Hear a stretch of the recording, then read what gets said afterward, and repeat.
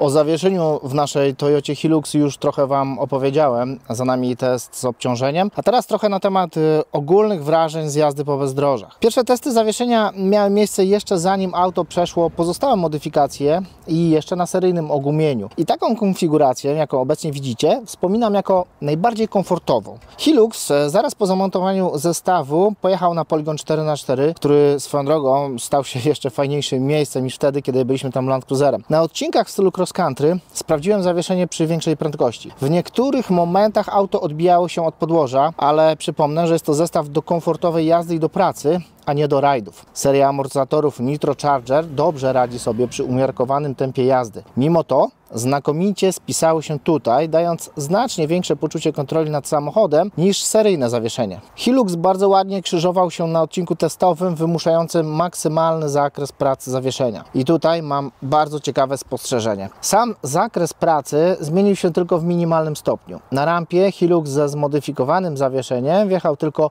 kilka centymetrów dalej, bez odrywania kół od podłoża, niż samochód seryjny. Wynika to z tego, że o ile tylne zawieszenie pracuje bardziej elastycznie, tak przednie jest odczuwalnie sztywniejsze. Z kolei dzięki temu tył chętniej pracuje na dużych wykrzyżach, poddając się nierównościom. Natomiast przód dużo rzadziej dobija do ograniczników, czy to w trudnym terenie, czy też przy e, większej prędkości. Podsumowując, zamontowane przez Stillera zawieszenie z resorami parabolicznymi plus 300 kg i amortyzatorami Nitro Charger Plus jest bardziej miękkie od seryjnego z tyłu, ale bardziej sztywne z przodu. Daje większy komfort reserowania, zwłaszcza kiedy zmusimy je do większego wysiłku, na przykład dynamicznej jazdy pokonując duże dziury.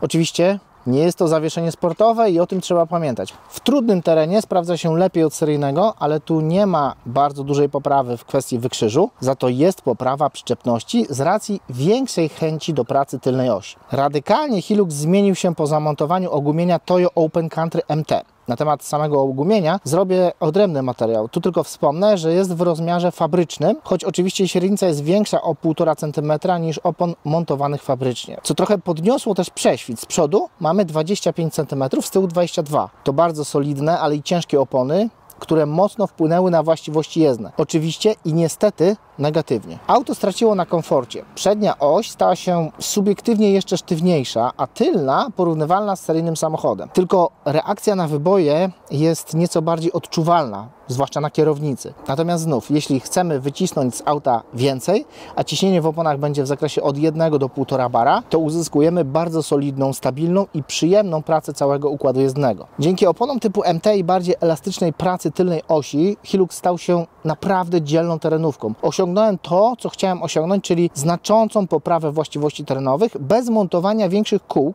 co zazwyczaj negatywnie wpływa na mechanizmy samochodu. I w Hiluxie wymaga też y, większych zmian w przednich nadkolach. Tutaj właściwie seryjne opony się nie mieszczą, trzeba było delikatnie mm, poprzycinać plastiki. Ogromna poprawa trakcji sprawiła, że nawet w najbardziej wymagającym terenie korzystanie z blokady tylnego mechanizmu różnicowego zazwyczaj nie ma sensu. System ATRC radzi sobie doskonale w sytuacji, kiedy jedno czy dwa koła tracą kontakt z podłożem, a w przeciwieństwie do włączonej blokady na grząskim podłożu nie powoduje to zakopania obu kół jednocześnie. Nasz Hilux jest teraz samochodem do spokojnego, technicznego pokonywania trudnego terenu, bez większych zmian technicznych w samym samochodzie, bo przecież w praktyce mam tu tylko dwucalowy lift i terenowe opony. Obecnie jest to prawdziwy czołg, którego zatrzyma tylko bardzo głęboka kolejna albo ograniczenia wynikające z rozmiarów samochodu. Choć i wszystkie kąty też uległy znaczącej poprawie. A jeszcze warto pamiętać, że dzięki poduszkom powietrznym z tyłu w sytuacji naprawdę podbramkowej można o kilka centymetrów unieść tył tył samochodu. Choć po pokonaniu przeszkody należy wrócić do pozycji wyjściowej, bo